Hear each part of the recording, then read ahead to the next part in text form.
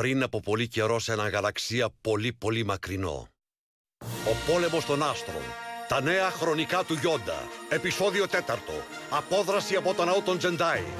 Οι δυνάμεις της Επαναστατικής Συμμαχίας κατάφεραν ένα αποφασιστικό κτύπημα ενάντια στην αυτοκρατορία καταστρέφοντας το άστρο του θανάτου. Παίρνοντας θάρρος από την νίκη τους, ο Λουκ Σκάιουόκερ και οι φίλοι του παρηγυρίζουν, αγνώντας ότι την ίδια ακριβώς στιγμή ο Ντάρθ Βέιντερ βρίσκεται στα ίχνη τους για να πάρει εκδίκηση χωρίς έλεος.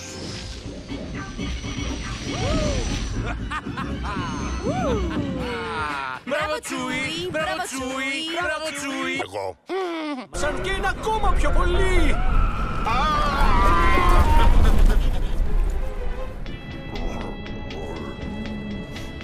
Hey, σταμάτα! Έκτακτη ανάγκη!